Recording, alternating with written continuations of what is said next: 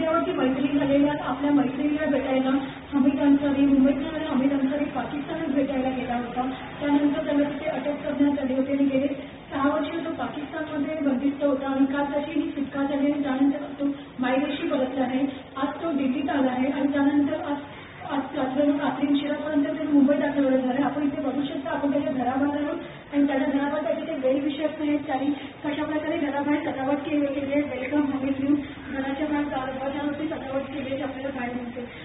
अमित शाह यांनी त्याच्या कुटुंबियांसह त्यांच्या वेलविषयक त्याच्या बिलिंगमध्ये येणारे एकूणच सर्वांना खूप आनंद होत आहे आणि सर्वात एकूणच अमित शाह येण्याची मुंबईत वाट पाहत आहे.